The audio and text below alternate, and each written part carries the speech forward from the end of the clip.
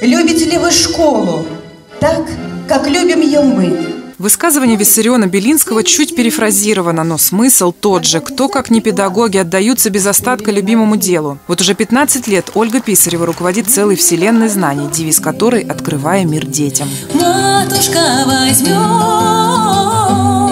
ведро, молча принесет Едва ли каждая школа может похвастаться такой богатой историей, которую по крупицам собирают и бережно хранят в музее. 1934 год. В самом центре деревни Акишева среди маленьких деревянных домов построили двухэтажный дворец знаний на 200 учеников. 38 лет ее звали Акишевской.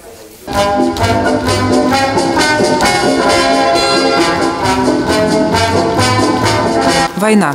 В здании школы штаб 21-й Московской дивизии народного ополчения, затем военный госпиталь. Ученики помогают ухаживать за ранеными. После войны в стенах школы вновь зазвучал озорной детский смех. 72 год, второе новоселье. В 86-м получают звание Одинцовской гимназии номер 7.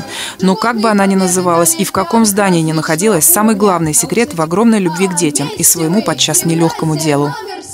Дети сейчас очень интересные, дети сейчас очень э, нестандартные, дети сейчас очень хорошие, потому что дети хорошие, самые замечательные, они всегда, какое бы время дети ни были. Мы всех их очень любим, и работать с ними становится с каждым годом все интереснее и интереснее.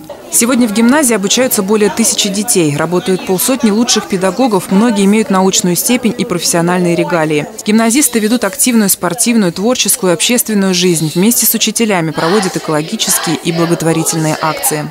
Я хочу всем пожелать вот точно так же в гимназии быть креативными, грамотными, передовыми, счастливыми, красивыми.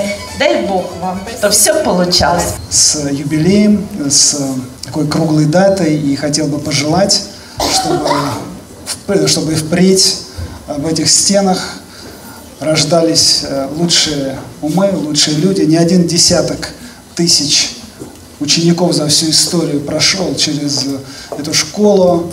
Уверен, что в наши дни среди них есть герои, есть люди, которые славят нашу Родину. Лучшим сотрудникам вручили благодарственные письма, грамоты и подарки. И учителя, и гимназисты подготовили творческие номера и, конечно, звучали искренние поздравления. Завершился праздничный день чаепития. Гимназия начала свой 86 год, чтобы продолжить открывать мир детям. Василиса Ивашкина, Денис Харламов, телекомпания «Одинцова».